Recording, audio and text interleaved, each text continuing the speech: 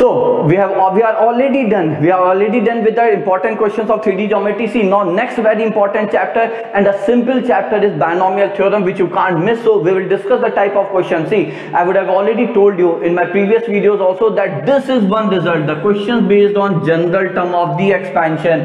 Extremely extremely extremely important in this chapter.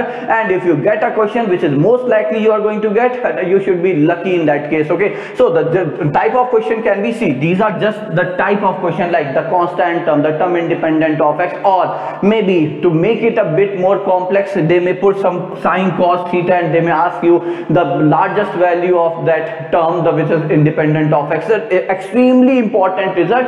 Again I will definitely bring a detailed video on the type of question that can be framed based on like general term in binomial theorem but uh, uh, other things are like here the number of irrational terms the sum of integral terms the sum of number of irrational rational terms irrational terms in the expansion. Again an important point.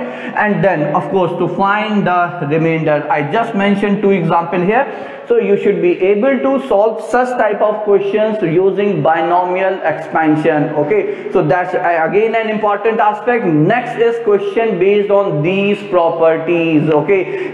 Properties of binomial coefficient extremely important this one this one. And of course as few may think that they have removed the uh, like uh, series of binomial coefficient but it has nothing to do with any special method. You can just derive it in, um, using the standard expansion 1 plus x raised to power n putting x is equal to 1 so that is important for me. It's really very important for this um, uh, JEE mains.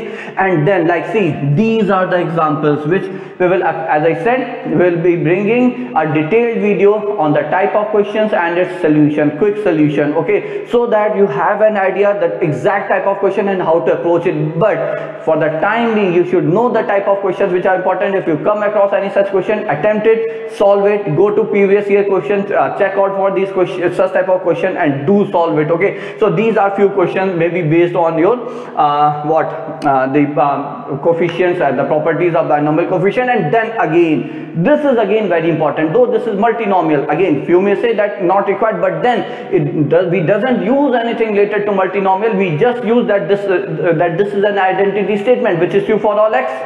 It's an identity statement which is true for all x.